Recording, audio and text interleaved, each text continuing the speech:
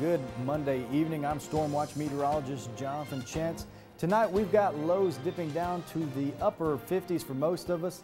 58 in Beckley, 59 in Mount Hope, and up there in Oak Hill. Partly cloudy skies, calm winds, which could bring us some fog tomorrow depending on how much um, how much cloud cover we get will be dependent on how much fog we see tomorrow morning. Now we aren't expecting for expecting it to impair your driving, but it will be noticeable with line of sight dropping down to around five miles. So still plenty of uh, line of sight for tomorrow morning. Tomorrow we heat up to around 79 in Beckley and Sophia around 84 in Pineville. And we've got the chance of some afternoon thunderstorms as we saw today with partly cloudy skies for tomorrow. So tomorrow overall, we're looking at a high of 79, a 20% chance of some afternoon thunderstorms, then a 30% chance of some afternoon thunderstorms for Wednesday with a high around 80.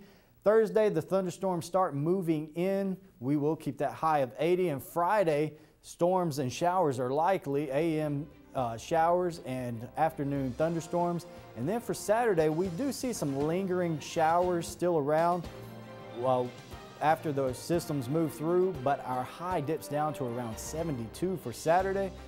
Sunday, we've got mostly sunny skies with a high of 75, and then we get a chance of rain back in the forecast for our Monday.